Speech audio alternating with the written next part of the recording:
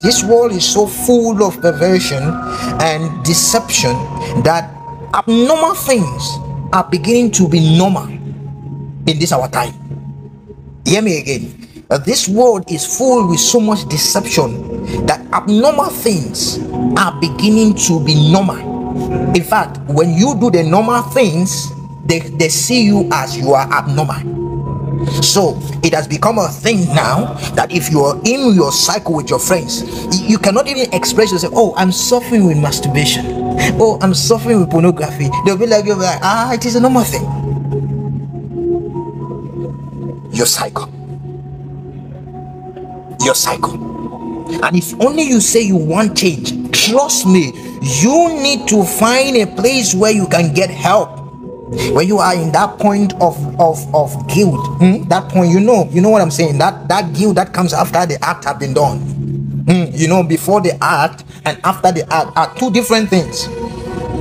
Before the act the, the, the devil will give you all arsenal for you to do it yeah? Hmm, the pornography and the, and he will give you all the things to make it a reality.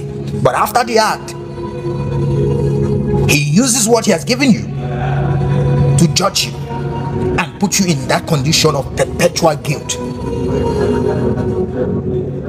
And unless we become wise about these things, we will never find true deliverance from it. To hell with that person that says masturbation is a normal thing. To hell with that person that says masturbation, oh, it reduces prostate cancer. To hell with that person that says, oh, masturbation makes you sleep well. What we do not understand is we have found ourselves in a spiritual relationship.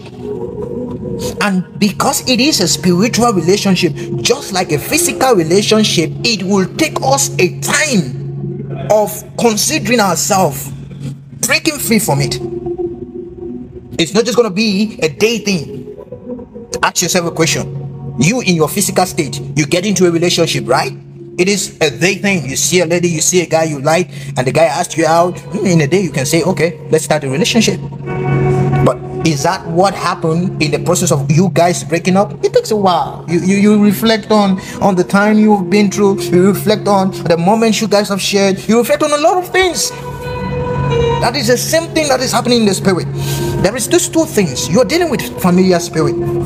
There's a whole history of, of this familiar spirit. We will talk talk about we will talk about these things later. And the reason why we cannot talk about them now is because this evening God gave me four things to make mention to you as a startup. If truly genuinely you want to stop this, but we will talk about this topic. It is called incubus and succubus spirit. On your private time, you can research about it what is an incubus spirit and what is a succubus spirit. The incubus spirit is the muscular spirit, like the manly spirit that comes to have sexual intercourse with a, a physical body, female spirit or female person when that person is asleep. And masturbation draws that spirit to you and make that relationship. So when you are a lady you're doing your thing when you've been waked up. And and what what happened is you you think oh because of the pornography you've watched you are excited and you start doing your stuff. You think you're, you're pleasuring yourself yeah? Mm, you're not pleasuring yourself. You're having a spiritual connection. You're having a spiritual connection with another spirit. And when you continue see if you've been in this struggle for more than two years four years five years, 10 years, 15 years, for you are dealing with a long time spirit because this deity, this spirit now is aware of you. This spirit is now familiar with you. This spirit now knows you're in and out. And for you to break free from it, it takes a lot. It takes a lot that if you don't know yourself so well just like a physical relationship where you get into uh, um, with, with, with a guy right? And this guy gets to know you're in and out. It takes a while before you get free because you want to do this you already knows okay you're always there.